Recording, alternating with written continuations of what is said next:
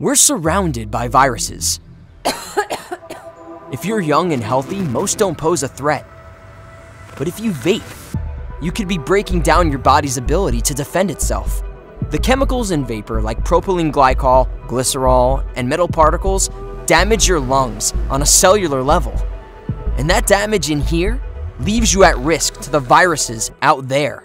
Get the sick truth about vaping at behindthehaze.com.